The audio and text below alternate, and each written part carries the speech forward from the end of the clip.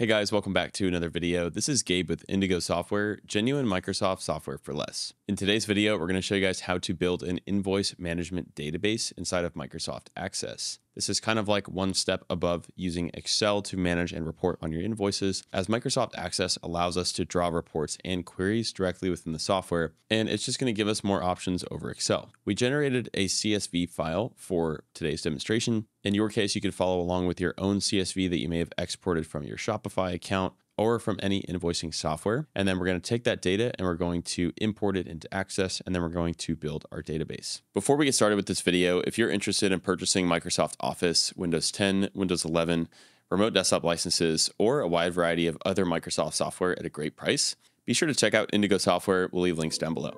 So without further ado, let's jump in.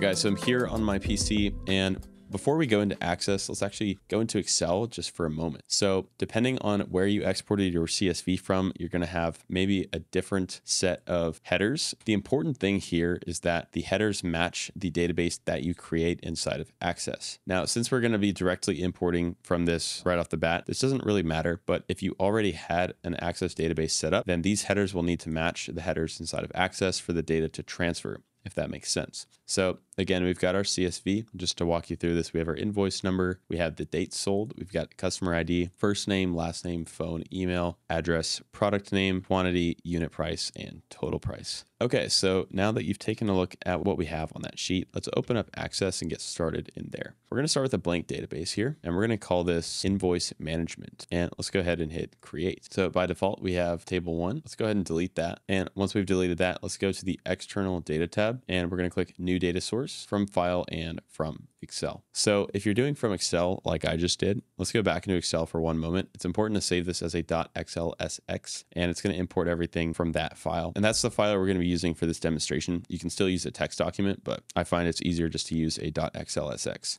So once we've saved that, let's go ahead and find the document, which we have here. Let's press open and we'll press OK. And this is going to do a new table in the current database, which is what we want.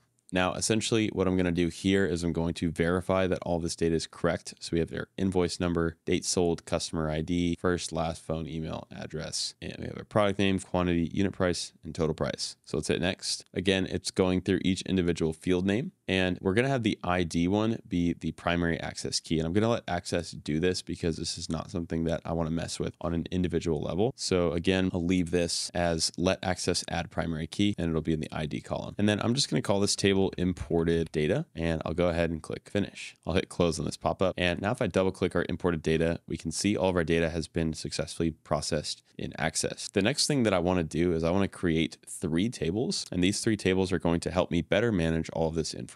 The three tables that we're going to create are called customers, orders, and products. This is basically going to narrow the information and make it a little bit easier for me to run reports and queries if I would like to at a future time. So in order to do that, we're going to go to create and let's go ahead and make a new table. So we can table design and we're going to want to import the fields that we want for customers. So let me right click and save this and we're going to title this customers. I guess we have to write the fields first. For this, I'm going to enter customer ID. Again, it's important here to exactly match the text from our imported data sheet. And if I go back over here, actually Access changed this to ID. So let me remove that and I'll just call this ID. And then we can match that as a primary key by right clicking in this little square and we'll hit primary key. So once we run the query to match everything up, it's not going to be prompting us about the primary key. So then below that, we'll do our customer ID. And this is what was exported from our software. Then we'll do first name, last name, and then phone, email, and finally finally, we'll do address. Now I'm going to right click and save. Basically, anytime that you make edits to a table, I would get in the habit of just saving it as it's a little bit easier to work with it that way. Now I'm going to close this down and let's go to create and let's hit query design. So we're going to start with the sheet that has all the data on it. I'm going to double click that and it's going to open it here in the middle of our query design. And I can actually click and drag this to enlarge it a little bit. So basically what we're going to do is we're going to take all of this data and we're going to consolidate it down to our customers for only the fields that we just added. Now, before I do that, I might not want there to be any duplicates. So let me change the view here. Again, you can always go to the data sheet or design view. So in this view, we're going to index this. If I click where it says index yes, no duplicate, that's actually what we want. I do not want duplicates. If yours says no, for example, you just double click it and keep double clicking it until it says yes, no duplicates. All right, so what I'll do at this point is I'll drop down this arrow. And again, we wanted the ID and then we wanted the customer ID followed by the first name, last name, phone and email and address. So I'm just dropping down under the field and address. There we go. Okay, now before we continue with this, in query design, we're going to turn this into an append query. And here we will drop down this into our tables and we'll hit customers. This is the destination of where it's going to append this information to. So I'll press OK. And at that point, we can go ahead and run this query. So I'll click run and I'll select yes. Now, if I reopen my customers table without having to manually do that, it's populated this table with all of our records. And again, since it's on the customers table, it only has the relevant data that I wanted. Now let's basically go ahead and repeat the exact same things. I can delete that query now, and I'm going to do this again for orders and for products. So I'll go to create and we're going to create a table design. Now for this, I want the ID. Again, this is the primary key. We'll right click and we'll make this the primary key. Below that, I'm going to do invoice number. Below that, date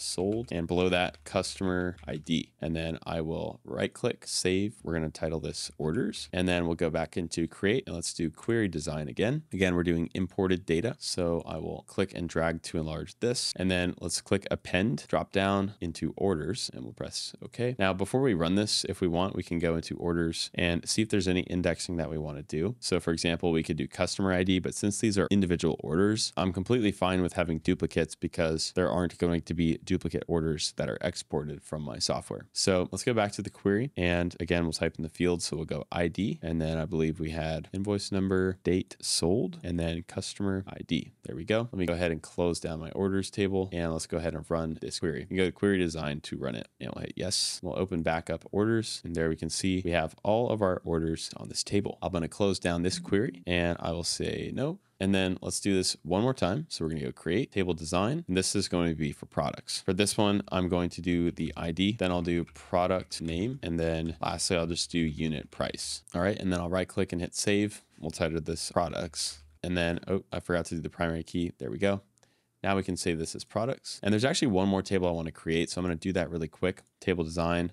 And this one is going to be for the order details. So let's do ID again for the primary key. We'll do invoice number next, followed by product name, followed by quantity. And lastly, I'm going to do total price. And then I will save this as order details. Okay, so we have to run two more append queries and then all these tables will be done and populated. So create, query design, imported data, and I'm actually just going to do both of these at the same time. Okay, and then let's append. We're going to append this to, we'll start with products. I think we haven't done products yet, so I'll press OK. And just a reminder for products, we need the ID, then the product name, then the unit price. ID, product name, and unit price. Okay, query design and run. Oh, forgot to close it down. There we go, query design and run. We'll hit yes. Let's make sure that one worked properly. So products, okay, that one filled. I'm gonna X out of this query and then I will create another one. So query design, and then we'll go imported data. Again, let's do append. Lastly, we're going to order details. I think you guys are getting the hang of it now. And then based on our selection here, we have ID, invoice number, and then product name, followed by quantity and then total price. And let me close down the order details. Let's go ahead and run this. Okay, and now we have all of our tables populated. And so now that we've merged everything over, Sorry, let me go ahead and delete this. We no longer need our imported data. Let's go ahead and delete this one. Right click and delete. Now we basically have our four different tables. This is going to give us our customers, orders, products, and order details. At any point on any of these, I can enter a new record by hitting the enter key and typing the new record itself. I can also do a new imported data table in the exact same way I did it before, and then append that data to these tables. So that's how you might make this sort of modular where you add to it as you do a new export every month. This can help to run accurate reports that can help you make better informed decisions. Okay, let's go into database tools now, and we're going to work with some relationships. So if I go into relationships, let's go ahead and start pulling up our tables here. I'm going to bring in all four of our tables and let's just enlarge these a little bit. All right, guys. So now that we're in the relationship page and we have all of our tables pulled up here, if we compare, for example, the customers to the orders, we have customer ID showing up twice. We need these to have a relationship with each other so that it knows we're not talking about separate things. So fairly easy to do this. We'll start with the orders and customers. I'm going to drag customer ID onto customer ID. And with that relationship in there, we'll leave everything as we're going to check enforce referential integrity and I'll press create.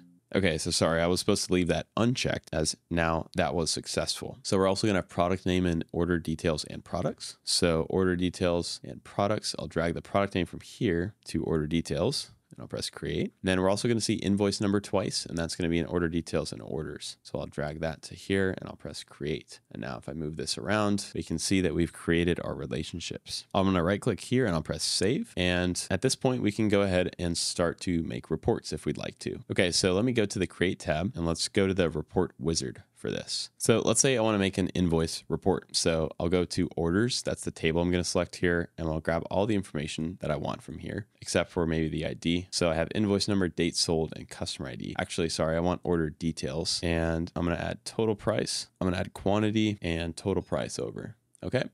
So I've got all the data that I want here. I'm going to go ahead and hit next. Here's asking if we want to add any levels. I'm fine with this. I'll hit next again. And I want this to be ascending from the date sold. I'll hit next again. I'll keep this as tabular and I'll check this box as well. So I'll hit next and let's go ahead and preview the report. And there we go. So we have our order details and this report, again, I wanted basically sales by date is what this gave me. So then it's going to reflect the invoice number, customer ID, quantity, and the total price of the sale. So I can very easily generate reports similar to this. I could also generate reports that would be ascending from price by customers. So there's a lot of different things that I can do here now that I've created this invoice management system. So that's going to conclude our Microsoft Access tutorial this week. To recap, we showed you guys how to start with an Excel document or CSV, how to import that into Access. And then from there, we showed you how to break it up into individual tables for organization. Then we created relationships, and then we showed you how to easily create and manage reports. All right, guys, that's going to do it for today's video. If you have any questions about anything that we went over,